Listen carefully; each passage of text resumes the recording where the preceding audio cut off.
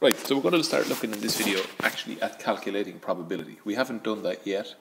What we've looked at is things that we need to be able to do to be able to calculate probability. For example, counting principles, counting the number of different outcomes of an event. We need to be able to do that to calculate the probability. So we're going to look at a couple of basic ones, okay? So we we're going to talk, first of all talk about what does it mean, probability. So there's a formula. So if you have some event, Okay. So you say the probability, hold on, let me make the pen thicker. So the probability of something happening, so I say the probability of an event,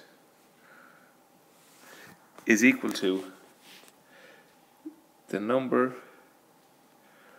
of favorable outcomes. Okay?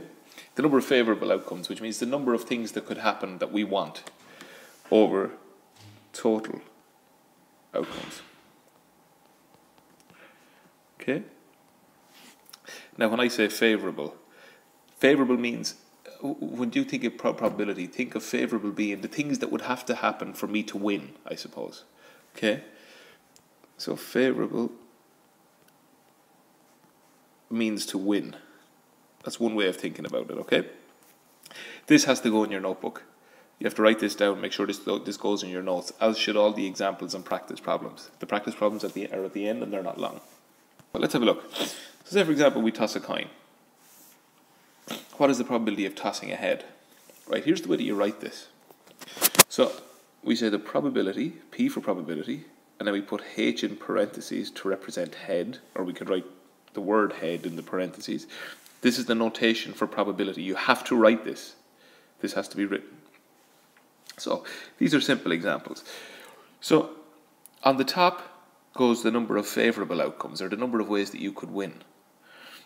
So the probability of tossing a head. So tossing a head is winning. Is there any other way I can win? No. So there's only one way I can win if I toss a head. And how many possible things could happen? Well, I could get a head or I could get tails. So there's two possible things that could happen. So the possibility of tossing a head is one out of two probability of tossing a tail is the same. Okay, one would make me win. There's only one outcome that would make me win, but there's two possible outcomes. Now, if you look, right, this is the last thing. This is very important for your notebook as well. Okay, if you have, how many possible outcomes for are there for tossing a coin? Well, there's heads and there's tails. Okay, the probability of a head is a half. The probability of tails is a half. And if you add them, you get 1. So there's a rule. Okay, this is an important note, so you need to highlight this in your notebook too. Okay, the probabilities, or sorry, yeah, the probability of all possible outcomes of each outcome added added together.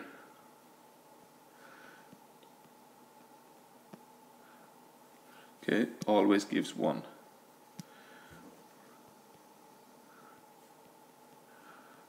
Alright.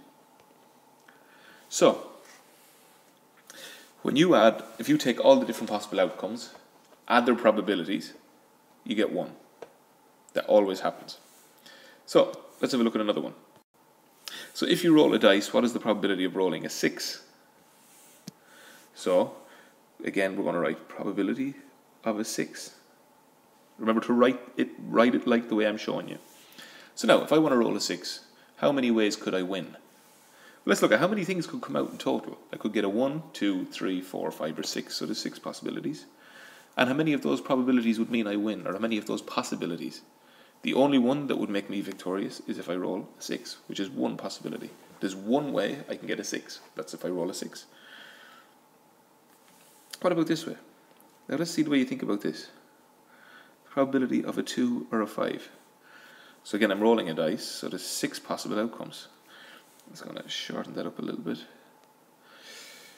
Rolling a dice, 6 outcomes. Now, how many of those outcomes are good for me? It's good if I roll a 2.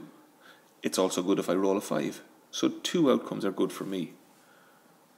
two good outcomes, so 2 6, which means the probability is 1 over 3. So the probability of me rolling a 2 or a 5 is one third. Because a 2 is a success and a 5 is a success. What is the probability of rolling an odd number? Probability of rolling an odd number. Okay. So again, you're rolling a dice. So you've got six possible outcomes. How many of those are good for me? It's good for me if I roll a 1, a 3, or a 5. So three good outcomes. Okay, which reduces to a half. So the probability of rolling an odd number is a half. Now, back to what I was saying earlier. If you roll a 6, sorry, if you roll a dice, there's six possible outcomes. So what's the probability of rolling a 1? It's 1 sixth. The probability of rolling a 2 is 1 sixth. 3, 1 sixth, and so on. So the probability of rolling each one is 1 sixth. You add them all up and you get 1. Okay, so like we said in the last example, you add up the probabilities of all the different possible outcomes, you get 1. So we're going to have to familiarize ourselves with cards, so hopefully this is something we can do over the coming days. So what we need to know, know about cards, each deck has, right up here, 52 cards. And we're going to talk about what each type of card is in class, so you should have an idea. So, what is the probability of picking a king? So P for probability, K for king. If I pick a card from a deck, how many possible cards could I pick? Well, it's 52 possible outcomes. And how many of those are good for us? Well, it's good for us if I pick a king. And there are four kings in the deck. So it's 4 over 52, which reduces to 1 over 13.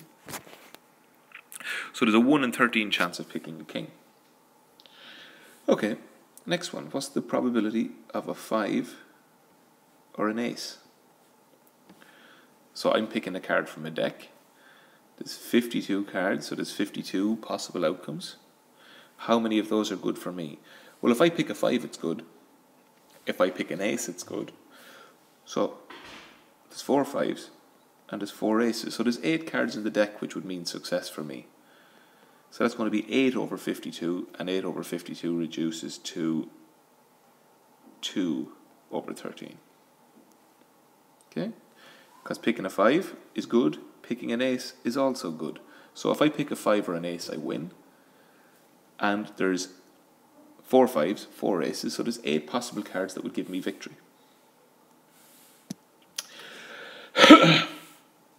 Okay, so the probability of a P for picture card or a 3.